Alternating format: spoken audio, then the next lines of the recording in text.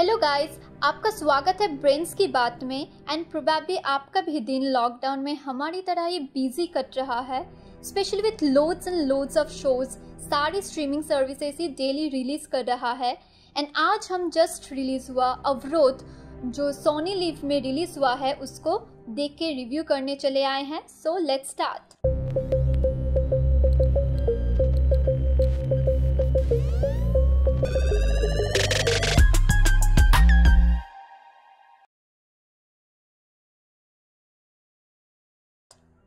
अवरोध एक बुक के पर आधारित है इंडियाज मोस्ट फियरलेस और वो एक डिटेल्ड अकाउंट है 2016 का उड़ी सर्जिकल स्ट्राइक का।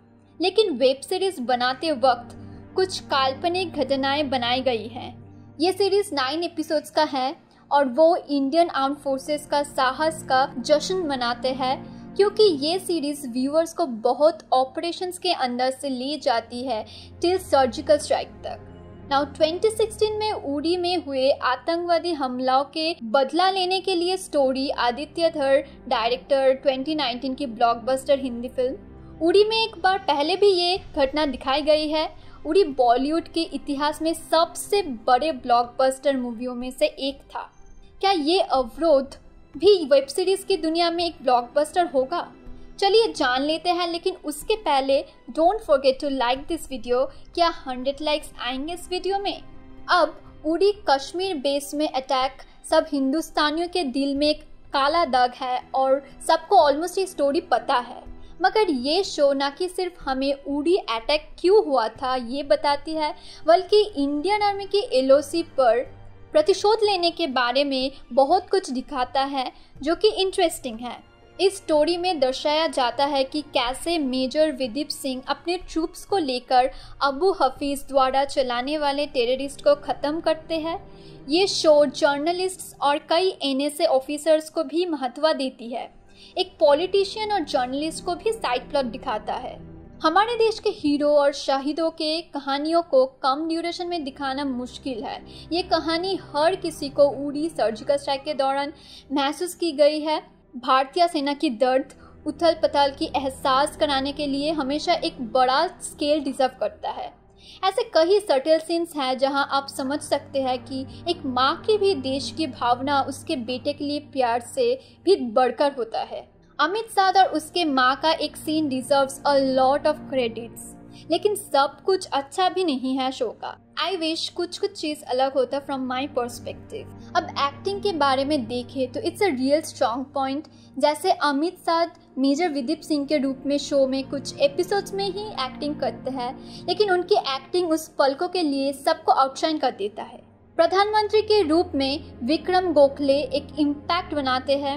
दर्शन कुमार मेजर रौनक गौतम की रोल में इम्प्रेस करते हैं। नीरज कबी एज शैलेश मलविया जो है नेशनल सिक्योरिटी एडवाइजर और आरिफ जकारिया एज आली रजा खान जो है एनआईए इन्वेस्टिगेटर अपनी चलाकी से अपने अपने किरदारों को निभाते हैं। मधुरिमा बिल्कुल जर्नलिस्ट नम्रता की तरह ईमानदार हैं, जो कभी कभी किसी कहानी को खोलने के लिए काफ़ी उत्सुक रहती है और किसी भी हद तक जा सकती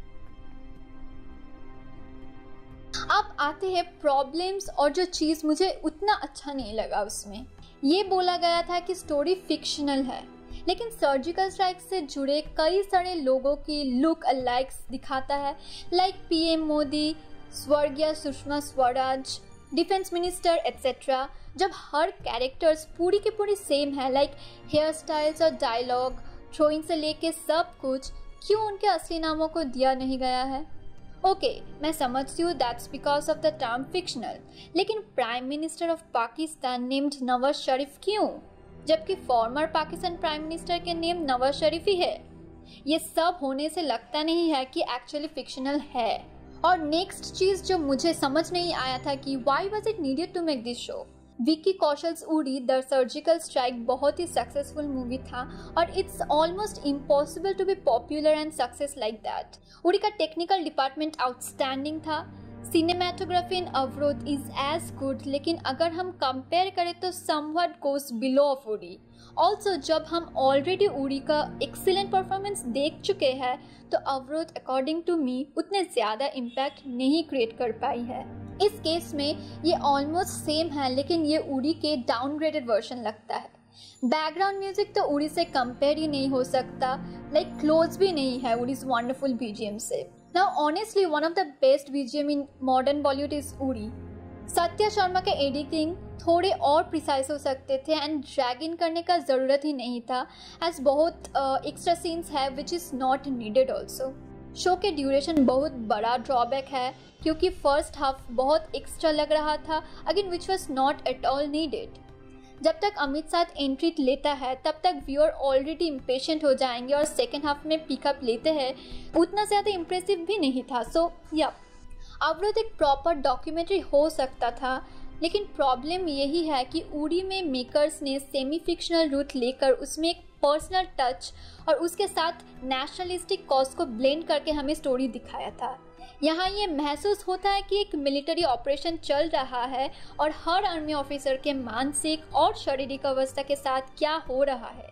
मैं ये बिल्कुल जानना चाहूँगी, लेकिन एक नाइन एपिसोड वेब सीरीज़ के लिए ये इंटरटेनिंग नहीं था बिल्कुल भी। सबसे इम्पोर्टेंट है कि ये स्टोरी नया नहीं था। मुझे पता है स्टोरी क्योंकि मैंने इस इंसिडेंट पर कई सारे आर्टिकल्स पढ़ चुकी हूँ ऑलरेडी और कई असली डॉक्यूमेंट्रीज देखी है तो ये मेरे लिए अच्छा नहीं लग रहा था। मुझे ऐसा लगा जिस तरह इस स्टोरी को दिखाया गया है, वो नहीं अच्छा है, ना कि उचित है। उड़ी को विनर की तरह लगा। माइंड यू कि ये क्लासिक नहीं था मगर इसके पास सब कुछ था जो ऐसे स्टोरी में होना चाहिए। अब ये तो उड़ी के रूट पर ना जा सकते हैं नहीं तो रियल डॉक्यूमेंट्री रूट पर जा सकते हैं। सो so, ओवरऑल हम ये बोलेंगे कि it was a good attempt ये शो कंटेंट पर वर्क करता है पर एग्जीक्यूशन में नहीं। और मैंने इसे टेन में से सिक्स दूँगी। ऑनेस्टली मैं इसे ज़्यादा दे रही हूँ। क्योंकि मुझे असली स्टोरी पसंद आई है। और अगर नेगेटिव्स को ये वेब सीरीज़ से हटाया गया होता तो ये और भी बेहतर होता। सो so गाइस अगर आपको ये वीडियो अच्छा लगा तो सब्सक्राइब करना हमारे चैनल को लाइक एंड कमेंट करना और शेयर भी करना वीडियो को। And thank you for watching take care bye